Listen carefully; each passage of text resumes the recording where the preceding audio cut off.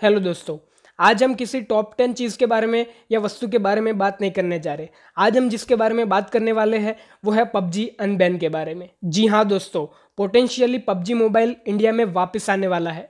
PUBG के official blue star company खुद इसके ऊपर रिस्पॉन्ड किए और उन्होंने खुद एक स्टेटमेंट रिलीज़ किया, जिसके बारे में आपको बताने जा रहा हूँ।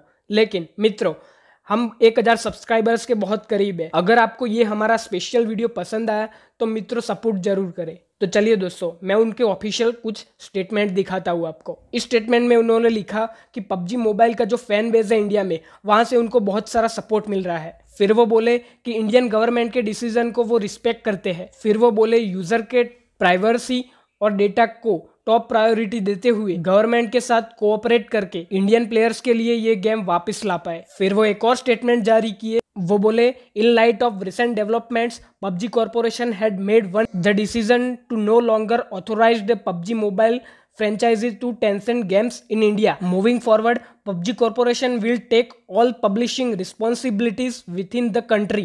As the company explores ways to provide its own PUBG experience for India in the near future.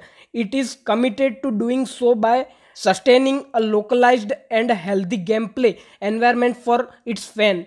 इसके बारे में बेसिकली वो यही बताए कि जो साउथ कोरियन कंपनी है ब्लू होल वो इंडिया में अपना खुद का इंडियन वर्जन गेम निकालेगी पबजी जिसका चाइनीज़ कंपनी टेंसेंट से कोई भी लेना देना नहीं होगा। मैं आपको बता दूँ कि इंडिया में जो बैन हुआ था पबजी को लेकर, वो टेंसेंट कंपनी की वजह से ही हुआ था। इसलिए ब्लू होल यानी कि साउथ कोरियन कंपनी नहीं चाहती कि वो टेंसेंट को इंडियन वर्जन में शामिल करे। इसीलिए इन्होंने क्लियरली मेंशन कर दिया कि इंडिया में जो पबजी का नया वर्जन आएगा, उसमें चाइनीज़ कंपनी टेंसेंट कहाँ भी इन्वॉल्व नहीं होगा। वैसे अभी के लिए तो पबजी अनबैन नहीं हुआ इंडिया में, लेकिन जल्दी ही वो सरकार से बात करेंगे और इंडिया में वापस आ जाएगा।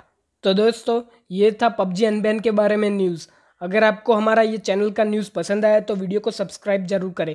मैं वैसे तो इस टाइप की वीडियो नहीं बनाता, लेकिन मैं पबजी का बहुत बड़ा फ़ैन हूँ, इसलिए मैंने ये वीडियो बना दिया।